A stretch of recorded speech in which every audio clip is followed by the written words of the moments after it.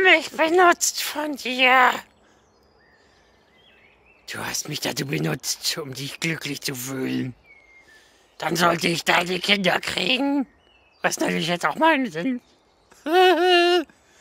Und jetzt ist aus dieser Liebe das Gegenteil von Zuneigung geworden. Ich will dich nicht mehr sehen. Du gehst mir sowas von auf die Nerven. Ich kann das nicht mehr aufrechterhalten. Unser Gebäude von Lügen. Ich will mich von dir trennen. Es war gar keine Liebe. Es war nur eine Illusion. Ich habe mir selber etwas vorgemacht. Und du hast mitgespielt. So